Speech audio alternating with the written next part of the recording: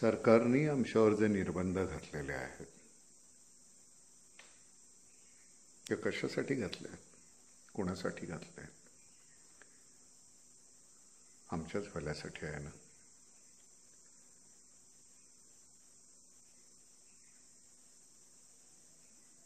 सगळं अर्थकरण थांबलेलं आहे. आपण बाहेर न जाण्यामुळे सगळं ठप्प आहे. याचा सरकारला काही फायदा आहे का? बरं त्याचं कारण आपल्याला माहिती नाही का आता?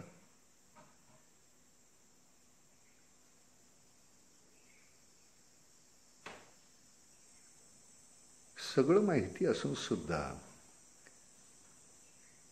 मी रस्त्यावर उतरतो. एक कुतूहल म्हणून काय चाललंय? उगाच मोटरसायकल काढतो. काहीतरी खोटी नाटी कारणं देतो. निदान काय चाललंय? पाहून येतो. किती मूर्खपणा आहे हा माझा.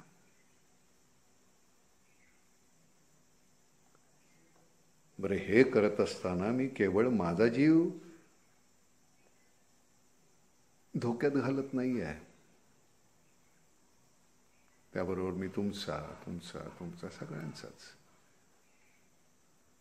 माझ्या मुलांचा बायकोचा आईवडिलांचा मित्रांचा शेजारचा.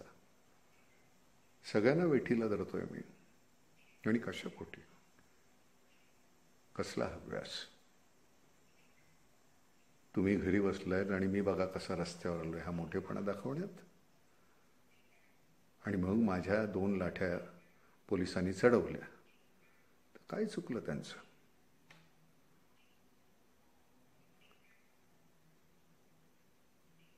पोलीस उगाच मारतायत का? हवेत फिरवतायत का? लाठ्या तुम्ही आहात ना बाहेर तिथे? मी मोटरसायकल घेऊन चाललोय ना गळ्यात रुमाल बांधून कपाळाला रुमाल बांधून. मग माझं मुस्काट फोडलं पोलिसांनी. काय चुकलं त्यांचं? माणसंच आहेत ना पोलीस म्हणजे सुद्धा. त्यांना नाही का हा रोग होऊ शकत? किती काळजी घेणार ते सुद्धा?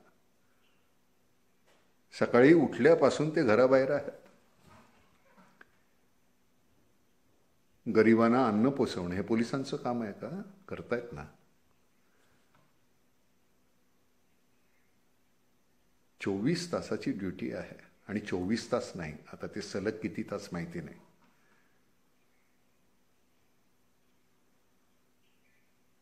पोलीस डॉक्टर शासकीय यंत्रणेमधली माणसं.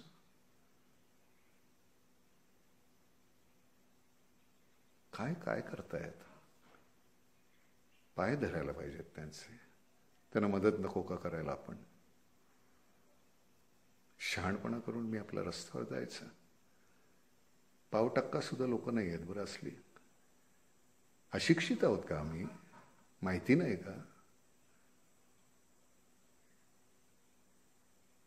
किती संसर्गजन्य रोग आहे हा. नुसता शिंकला खोकला माणूस तर त्या थुंकीतून बाजूचा माणूस आजारी पडू शकतो. बाहेर जाताय तुम्ही. काय आत घेऊन येणार आहात तुम्ही परत?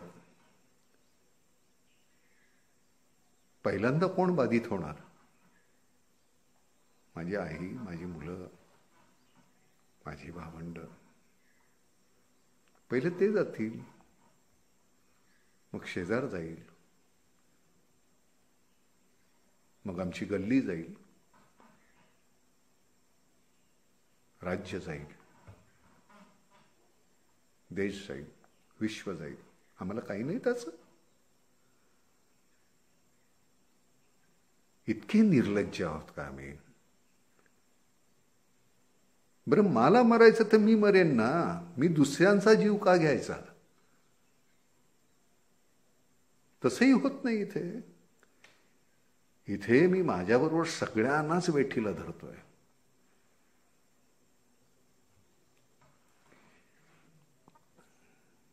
कधी कळणार आम्हाला हे? गंमत चालली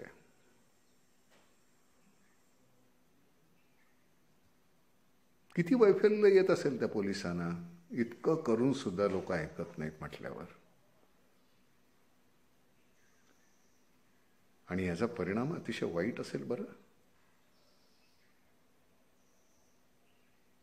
स्मशानात जाळायला लाकडं नसतील मग.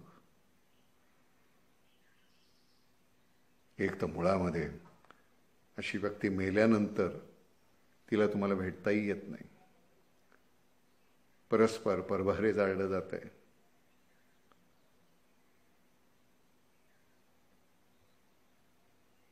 कसं जगायचं ते ठरवा म्हणजे मग असं मरण तुमच्या नशिबी नाही येणार. नको का सांभाळायला आपण एकमेकाला आता? बरं असं नाही आहे की हा फक्त गरिबांनाच होतो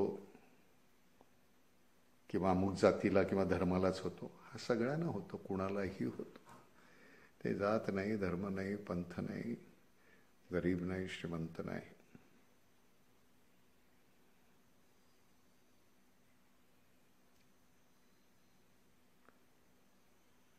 या क्षणाला तरी आपण सगळे समान आहोत.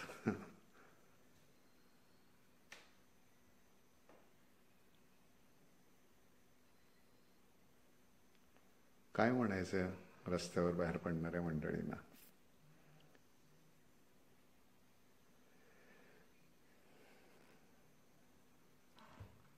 नका बाहेर पडू. एकदा हात जोडून सांगतो. नका पडू. हे शेवटचे हात जोडणं आहे बरं.